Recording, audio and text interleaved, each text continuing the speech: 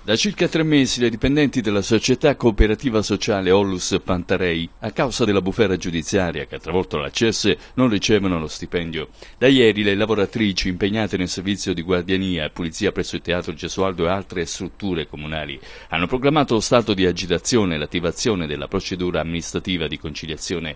L'effetto ACS si abbatterà su una serie di cooperative a iniziare dalla gestione dei parcheggi in città con il personale che rischia di finire uscire seriamente per eh, strada. Sarà un autunno caldo per tutti i dipendenti dell'azienda Città Servizi, ha dichiarato il segretario generale della funzione pubblica CGL Marco D'Acunto. Intanto le lavoratrici di Pantarei ieri hanno fatto sentire la loro voce anche a margine del Consiglio Comunale.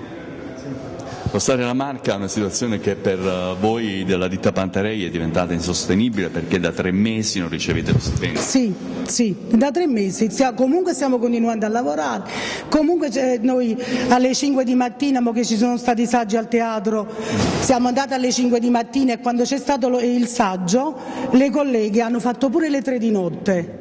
Per, eh, per chiudere, perché noi dobbiamo chiudere pure il teatro, dobbiamo aprire e dobbiamo chiudere però sono tre mesi che non vediamo una lira. Tra l'altro, tra l'altro voi siete impegnati nelle pulizie non solo del teatro ma anche di, di, di altre sì, strutture. di altre come il Campo Coni, eh, Villa Mendola, Villa, Villa Comunale, eh, Chiesa del Carmine, un po' tutte le strutture del comune.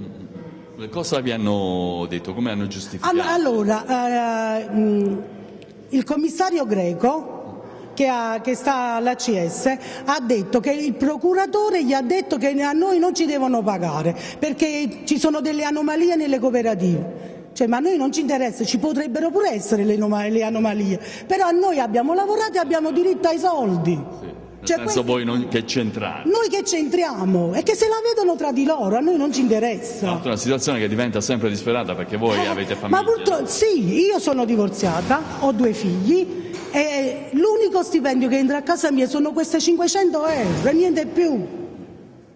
Tanto voi stamane siete venute a seguire il Consiglio Comunale sì, proprio, con la speranza sì, di, vedere, di, aprire un confronto. Sì, certo, certo, certo, per vedere un po' com'è la situazione, cioè, cosa, cioè, noi come, come, dobbiamo fare? Dobbiamo andare dal sindaco per vedere se ci dà qualcosa da mangiare, che cosa dobbiamo fare?